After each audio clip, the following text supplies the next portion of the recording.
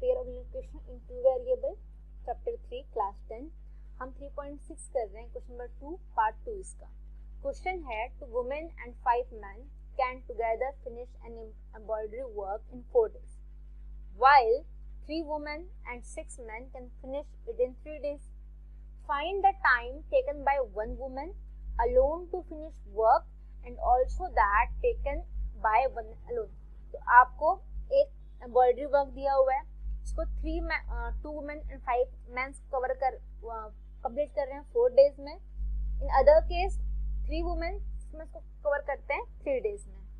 अब आपको निकालना है कि अलोन वो कितने में इसको काम पूरा कर लेंगे वुमेन वुमेन तो हम मानते हैं number of days taken by women वो हमने ले लिया, मान लीजिए x and same as number of days taken by a man वो हम ले लेते हैं y okay taken by a man ले लिया वाई अब हम बात करते हैं उन्होंने कितना वर्क किया वन डे में। तो work done by women in in one day वो हो गया वन बाय एक्स कितना हो गया?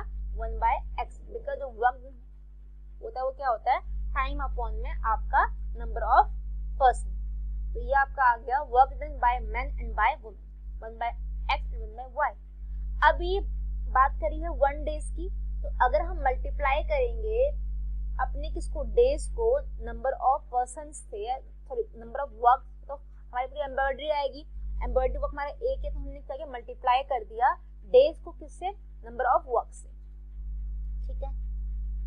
तो ये आपके आपके दो इक्वेशन बन गई ऐसे एक आ गया four two x five y one by four and three x minus five y equal to one upon में अब मैंने क्या किया? फोर को मल्टीप्लाई कर दिया टू और फाइव का, और मैंने वन बाय एक्स को अलग कर दिया। वन बाय वाई को भी अलग कर दिया सेम अब हम क्या करेंगे? हम वन बाय एक्स को पी और, अब हम क्यू मान लेंगे। अब हम पी और क्यू पुट कर देंगे one by x one by y की जगह पर। तो आपके दो इक्वेशन आगे नॉर्मल फॉर्म में eight p plus twenty q is to one and and so on अब हम यूज़ कर रहे हैं, हमने मेथड यूज़ कर रहे हैं कौन सा सब्सटीट्यूशन हम यूज़ कर रहे हैं यहाँ पे।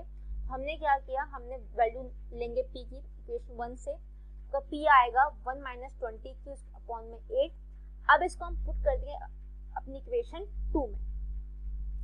तो पुट करते हैं इक्वेशन टू में। आपकी इक्वेशन टू है कि now put the value of p in equation value of p in equation आपकी है सेकंड आपकी इक्वेशन टू है आपकी nine p plus eighteen q is equal one आपका पी आया था सॉरी पी आया है आपका, क्यू नहीं? पी है। हाँ आपका पी आया हुआ है one minus twenty q upon में वन नहीं है अपॉन में ये आपका है एट यहाँ पे एट लिखते हैं हाँ। तो अब नाइन ये आपको one eighty q plus one forty four is equal to eight हमने एट को इंटू कर दिया वन से। आपका क्यू यहाँ पे थर्टी सिक्स क्यू हो गया एंड माइनस वन तो क्यू आपका आगे वन बाई थर्टी ऐसे, अब हम पुट करेंगे बोली किसी और इक्वेशन में, किसमें करनी हो आपके ऊपर है, कहीं भी आप पुट कर सकते हो वन में या टू में. मैं मेनली वन में पुट करती हूँ वन में पुट कर रही हूँ अभी भी. तो मैंने पुट करी वन क्या? है एट पी प्लस ट्वेंटी के इक्वल टू वन तो आपका क्यू आया है वन बाई थर्टी सिक्स में पुट कर दिया. क्यू इज़ वन अपॉन में थर्टी सिक्स थर्टी सिक्स पे एटीन कट गया टू टाइम्स में. ये आपका आ गया नाइन पी मैंने टू को इंटू कर दिया नाइन से एटीन क्यू और टू इंटू वन से आपका पी ऐसे आ गया वन बाय एटीन अब ये हमें वैल्यू निकालनी है एक्स और वाई की। अब हमारा वन बाय एक्स था पी तो पी आपका आया आया है वन बाय थर्टी सिक्स आपका एक्स आ गया थर्टी सिक्स एंड आपका वाई आ गया एटीन तो आपका आ गया number of days taken by women and man